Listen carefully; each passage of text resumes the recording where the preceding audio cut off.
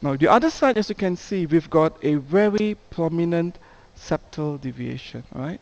So we need to, to, to do a septoplasty. Now this is quite a significant deviation and what makes this a little bit more complicated is that it's very anterior.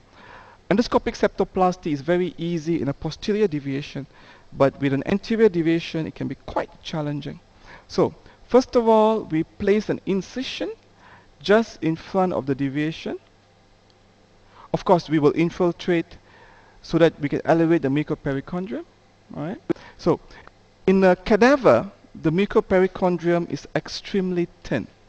So it can be quite difficult to dissect in a cadaver without tearing. But if you're in the right plane, you will not have any bleeding. Okay? So that is the plane that you want to. And now I'm going to dissect and you can see how significant the septal deviation is. So you want to go all the way to the back, raise the mucoperichondrium, and you can see how easy it is to tear because the deviation is so marked.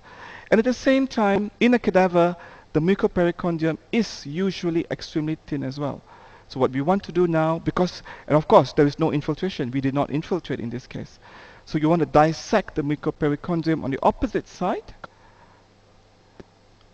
Can I have a Blakesley, please? Or so make sure that we, there you go. So we have dissected the mucoperichondrium on the opposite side and dissect the mucoperichondrium here. And with a Blakesley now, you can remove the septal deviation as required. And you can see the deviation is also at the junction of the cartilage and the maxillary crest. And now we are removing the septum.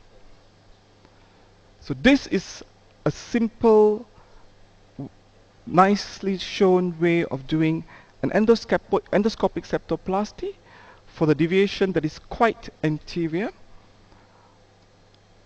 even anterior to the middle turbinate and the inferior turbinate as well. So here we need to remove this and remove the septum as much as required until we are able to achieve our objective which is to get enough visualization to be able to continue with the surgery.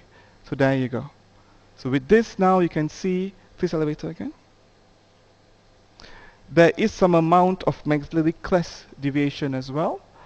And so, as I said earlier, it can be a little bit more difficult to remove the mucoperichondrium in a cadaver, one, and the other because we do not infiltrate, where else in real life we would have infiltrated the cadaver as well.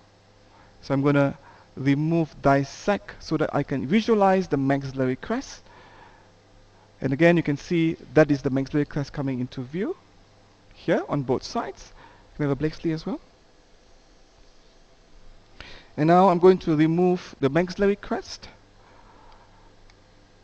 and remove only what is required for you to achieve your aim of the surgery. We have to make sure we leave at least a few millimeters of bone anteriorly so that we do not have any columellar dislocation.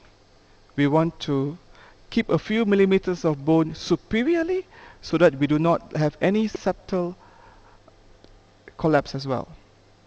Okay. Face elevator again. Thank you, Dee. Now I'm going to place the septum back like this.